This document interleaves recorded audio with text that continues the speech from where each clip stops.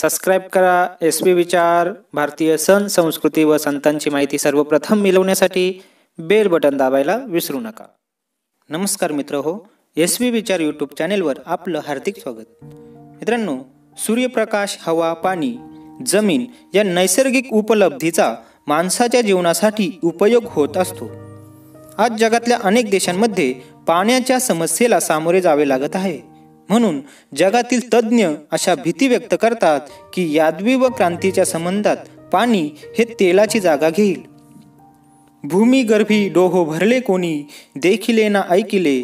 ठाई ठाई झोबिरे झाले विद्युल्लताचे.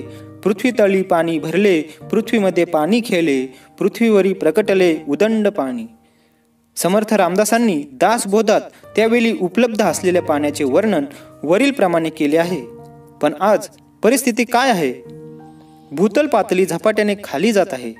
दिवसेंदिवस पाण्याची उपलब्धता कमी कमी होण्याची जी मुख्य कारणे आहेत त्यात पाणी निर्माण करता येत नाही. लोकसंख्येचा विस्फोट जीवनमान उंचवण्यासाठी पाण्याची वाढती गरज पाण्याचा अकार्यक्षम वापर होय. पाणी ही राष्ट्रीय संपत्ती आहे. पाणी सर्व सजीवसृष्टीचे जीवन आहे. सजीवसृष्टी पाण्यापासूनच निर्माण झाली आहे असे मानले जाते.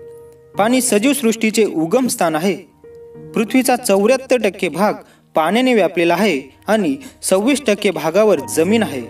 पण हे सर्वच पाणी पिण्यायोग्य नाही. गोड्या पाण्याचे साठे मर्यादित आहेत. जंगलतोडीमुळे जगातील पाण्याची उपलब्धता सर्वत्र राहिलेली नाही. पाण्याचा वारेमाप वापर केल्यामुळे भूजल साठे कमी होत आहे. पाणी फुकट असल्यामुळे पाण्याचे महत्त्व आपणास अजूनही समजलेच नाही. पाणी प्रदूषणामुळे भयावह रोगांचा फैलाव होत आहे. पृथ्वीवरील एकूण पाण्याशी माणसासाठी पिण्याचे पाणी झिरो पॉईंट झिरो झिरो सात टक्के आहे. विश्वातील पर्यावरण संवर्धनासाठी पाण्याची पुरेशी उपलब्धता हा एक महत्त्वाचा घटक आहे. आज केवळ मानवी जीवन औद्योगिकरण व शेती याच गोष्टी विचारात घेतल्या जातात. परंतु पर्यावरण संतुलनाच्या दृष्टीने महत्त्वाचा घटक असणारे प्राणी पक्षी किंवा वनस्पतींचा विचार केला जात नाही. प्राणी पक्षी वनस्पतींकरता अन्न नैसर्गिकरित्या उपलब्ध असून केवळ पाण्याअभावी त्यांच्या कितीतरी जाती नाहीशा झाल्या आहेत. अनेक जाती नष्ट होण्याच्या मार्गावर आहेत. म्हणून जागतिक पातळीवर केवळ पाणी या विषयाकरता वर्ल्ड वॉटर कौन्सिलची स्थापना झाली आहे.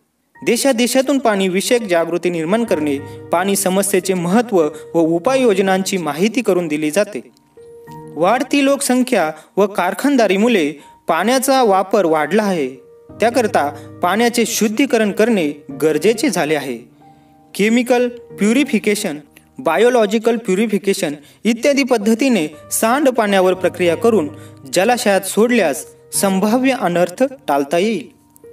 पाणी प्रश्नासाठी जनजागृती करण्याचे कार्य सर्वांनीच करायला हवे. सर्वांनी पाण्याचा अनावश्यक वापर टाळून पाणी काटकसरीने वापरण्यास शिकले पाहिजे.